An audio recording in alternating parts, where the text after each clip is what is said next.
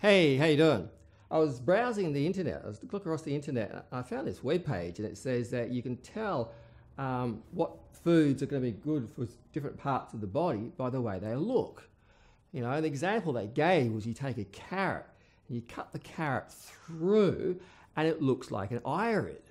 And then because the uh, carrots are high in beta carotenes, uh, which precursors for vitamin A, then it's going to be good for your eyesight. All right. So I thought, well, this is really interesting. So I got myself a, uh, a nutrition book and I got myself an anatomy book. And I thought, all right, let's just check this out. So let's get a tomato. Got a tomato, had a look at it. I went through the um, anatomy book. Doesn't look like anything apart from like it maybe a, you know, a bruise or something. And then I go, I know you got to cut. So I, got, I cut the tomato through, and there it is. You know, there's there's four chambers. And then you look in the anatomy book, yeah, and you find that heart's got four chambers, and they're both blood red. And so then, you, yeah, yeah, but then you've got to go to your nutrition book and you go through and what do um, tomatoes contain? They contain like lycopene. Lycopene, it's good for the heart. So there it is. But yeah, but two's not proof, is it? So I thought, try grapes, grapes, grapes, grapes. Just look through the anatomy book, and there it is. They look like the alveoli of the lungs. Yeah, okay, all right. Yeah, sure. So we go to the nutrition book, look for um, grapes, and they contain antioxidants, powerful antioxidants that have been shown to, you know, help with emphysema and lung problems. There it is once again. So I thought, well, let's try a nut this time. So let's get a walnut. So you get a walnut. Yeah, we'll look at it. You know, I don't know.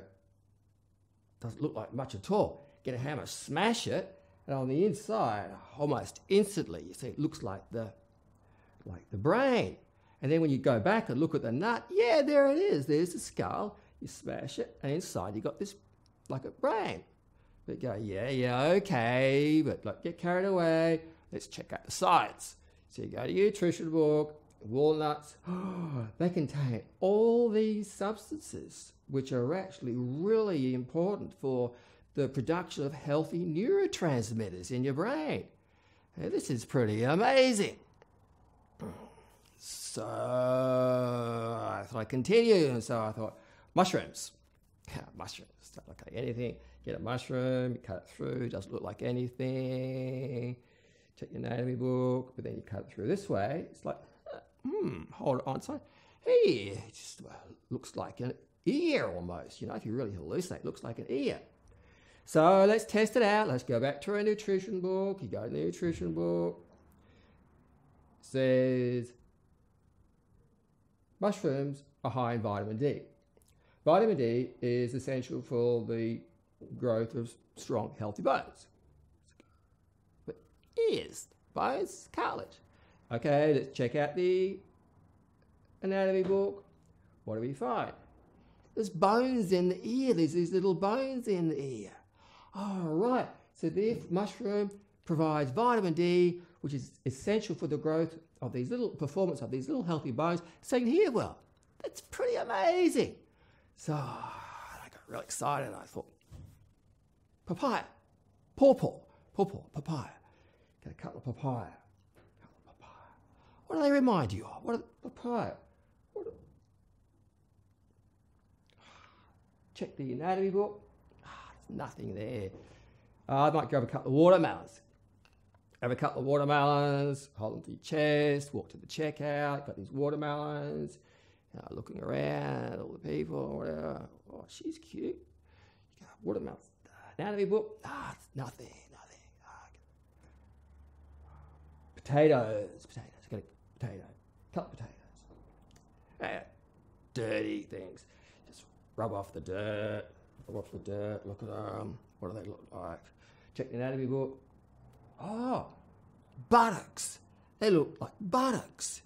Hey, does that mean to say that eat potatoes is going to give you a fat ass? Let's go to our nutrition book. What's it say about potatoes? It says potatoes, starchy vegetables, cause weight gain and give you a fat ass. Isn't that incredible? Hey, it's just like science, move over.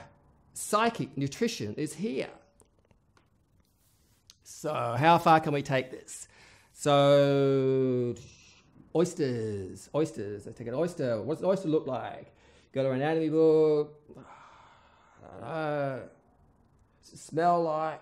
God, smells pretty bad. It smells fishy. It smells real funny. What's it taste like? oh my God. You mean that an oyster resembles a vagina? I'm so embarrassed. Let's just go and check. Or a nutrition book. What does it say about vaginas? Uh, what's a nutrition book say about oysters? Oysters, oysters. Yes, zinc and other substances which are really good for improving your sex drive. There it is. This gets really interesting, isn't it? Of course. But, you know, do we need like a psychic nutritionist to tell us?